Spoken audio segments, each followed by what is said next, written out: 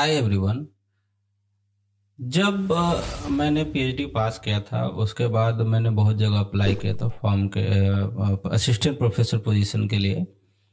तो जब आप अप्लाई करते हैं ना तो आपसे बहुत सारा डॉक्यूमेंट मांगती है। तो उसमें से वन ऑफ़ द डॉक्यूमेंट होता है रिसर्च स्टेटमेंट जो आपको प्रिपेयर करना है।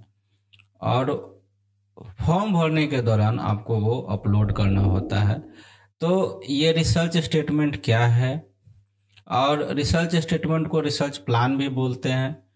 तो ये क्या है और इसको कैसे लिखते हैं, मैंने कैसे लिखा था, उसको देखेंगे आज। और ये बहुत ज़रूरी है, आप जब अप्लाई करते हैं स्टेट गवर्नमेंट आप अप्लाई करते हैं I I Ts N I Ts triple I I Ts या सेंट्रल यूनिवर्सिटी या डीम्ड यूनिवर्सिटी जैसे पिलानी हो गया एस आर एम हो गया वी आई टी हो गया तो ये हर जगह आपसे मांगेगी, अमृता हो गया। तो जितना भी यूनिवर्सिटीज जो आप जानते हैं, जो अच्छा यूनिवर्सिटीज है और जो अच्छा कॉलेज है इंडिया में जिसमें आप असिस्टेंट प्रोफेसर बनना चाहते हैं तो वहाँ पे ये ये रिसर्च स्टेटमेंट तो पक्का आपको देना ही पड़ेगा। तो इसको मैंने कैसे लिखा था, वो चलिए देखते हैं। तो अभी आपके स्क्रीन पे दिख रहा होगा कि मैंने कैसे लिखा था रिसर्च स्टेटमेंट और मैं मैन्युफैक्चरिंग से बिलोंग करता हूँ मैकेनिकल मैकेनिकल इंजीनियरिंग में मैन्युफैक्चरिंग स्पेशलाइजेशन से बिलोंग करता हूँ। और मैंने मैन्युफैक्चरिंग में ही पीएचडी का काम किया है। तो सबसे पहला पैराग्राफ में मैंने क्या लिखा है? मैंने लिखा है कि मैन्युफैक्चरिंग क्यों इम्पोर्टेंट है? ये मैंने बताया रिसर्च स्टेटमेंट में। सो so, यहाँ पे देख सकते हैं it is well acknowledge that manufacturing crucial part of mechanical engineering ये जो रिसर्च स्टेटमेंट हम लोग देख रहे हैं ये रिसर्च स्टेटमेंट ये क्या बोलते हैं कि बड़ा है, लंबा रिसर्च स्टेटमेंट है, लेकिन बहुत सारा जगह पे आपको वर्ड लिमिट रहता है और बहुत जगह नहीं भी रहता है तो उसके लिए ये है, जो जिसमें आप अच्छा से अपना रिसर्च स्टेटमेंट लिख सकते हैं। बहुत जगह एक ही पेज में लिखना रहता है तो मैं सब कुछ दिखाऊँगा आपको, मैंने कैसे लिखा था। शुरू में मैंने हर जगह अप्लाई किया था तो हर जगह डिफरेंट डिफरेंट टाइप से मानते थे तो मैंने सबको लिख के रखा है। तो पहले मैंने मैन्युफैक्चरिंग का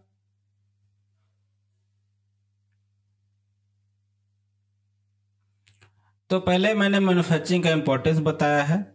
फिर कि क्रिस्टल पार्ट है मैकेनिकल इंजीनियरिंग का। इसका एप्लीकेशन है एरोस्पेस बायोमेडिकल एंड ऑटोमोबाइल्स में बहुत ज़्यादा, ठीक है? ये कटिंग एज मैन्युफैक्चरिंग अगर कटिंग एज मैन्युफैक्चरिंग टेक्नोलॉजी हम लोग के लिए आजकल बहुत इंपॉर्टेंट है, ठीक है? This cutting edge manufacturing techniques बहुत इंपॉर्टेंट है। क्यों? क्योंकि high level of surface quality देता है कॉम्प्लेक्स प्रोफ़ाइल देता है, जो कि majority of academic field physics biology agriculture business ये सब में इसका ज़रूरत ज़रूरत होता है। तो ये मैंने इंपॉर्टेंस बता दिया। इसके बाद मैंने बताया कि इसमें मैंने पीएचडी वर्क में मैंने क्या काम किया है। तो वो मैंने, आप पढ़ सकते हैं, मैं एक एक चीज़ एक्सप्लेन नहीं करूँगा क्योंकि मेरा पीएचडी वर्क का काम है। तो इसको मैंने ऐसा लिखा है कि मेरा पीएचडी वर्क इम्पोर्टेंट है और ये इंडस्ट्री के लिए इम्पोर्टेंट है क्योंकि मैंने ऊपर बताया मैन्युफैक्चरिंग क्यों इम्पोर्टेंट है। उसके बाद लास्ट लाइन में मैंने लिखा है कि in order to express my ability to operate as a professional and independent researcher in different areas of manufacturing and using the knowledge and experience I have gained throughout my PhD, I have primary, long term and short term research goal in my mind. So आपको ये बताना पड़ेगा primary research long term and short term goals ठीक है? तो पहले मैंने बता दिया कि मैंने जो एक्सपीरियंस गेन किया तो उसके बाद ये मेरा गोल्स है। अब प्राइमरी रिसर्च गोल क्या है? क्योंकि मुझे हाइब्रिड मैन्युफैक्चरिंग में अच्छा लगता है। तो मैं सबसे पहले ज्वाइन करूँगा तो इस पे काम करूँगा कि हाइब्रिड मैन्युफैक्चरिंग कुछ मैं डेवलप करने की कोशिश करूँगा। तो उसके बारे में ये लिखा हुआ है। ठीक है, आप इसको पढ़ सकते हैं, नहीं तो ये लंबा वीडियो हो जाएगा, आप इसको पढ़ सकते हैं, वीडियो पॉज करके। फिर उसके बाद लॉन्ग टर्म रिसर्च गोल है मेरा तो मेरा तीन लॉन्ग टर्म रिसर्च गोल है।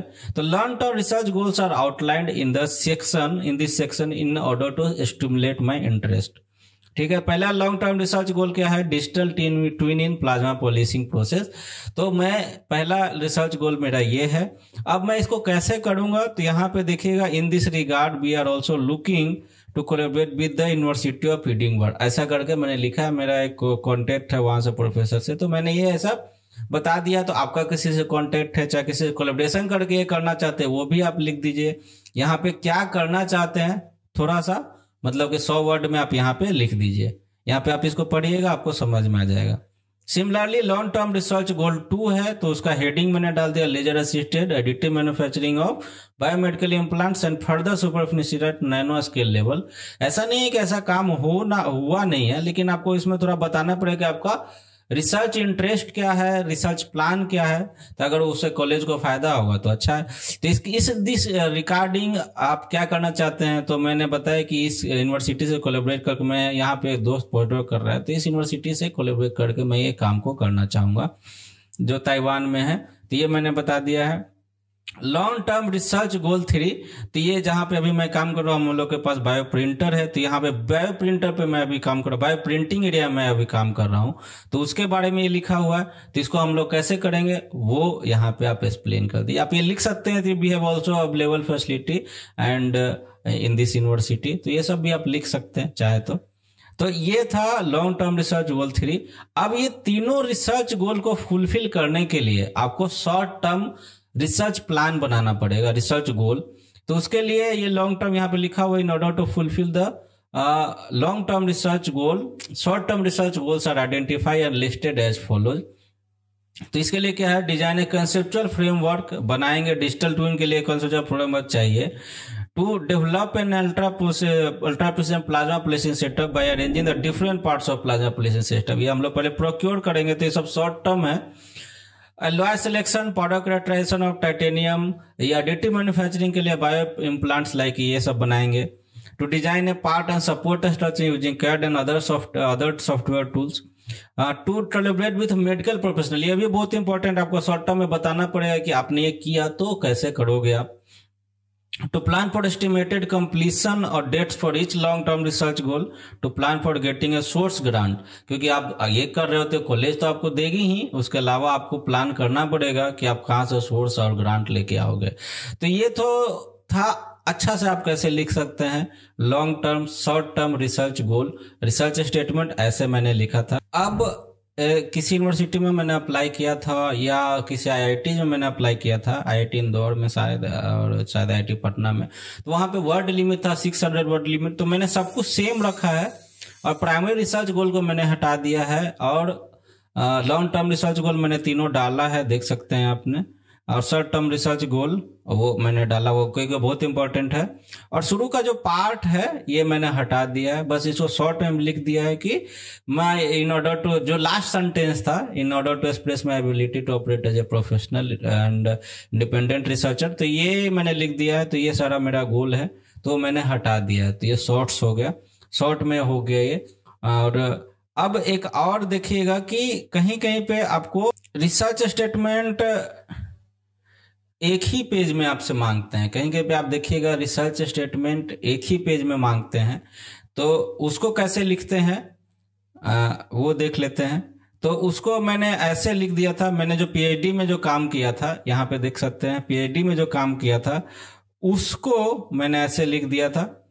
ठीक है? अब यहाँ पे शायद मैंने आईआईटी रुड़की में अप्लाई किया था तो यहाँ पे देखिए यहाँ पे लिखा हुआ है two goals in my mind for future work at IIT Roorkee तो यहाँ पे अप्लाई करते समय ये मैंने लिखा था तो आईआईटी रुड़की में तो यहाँ पे एक पेज में ही रिसर्च प्लान मांगा था। देखिए यहाँ पे रिसर्च प्लान लिखा हुआ रिसर्च स्टेटमेंट नहीं सेम ही चीज़ है।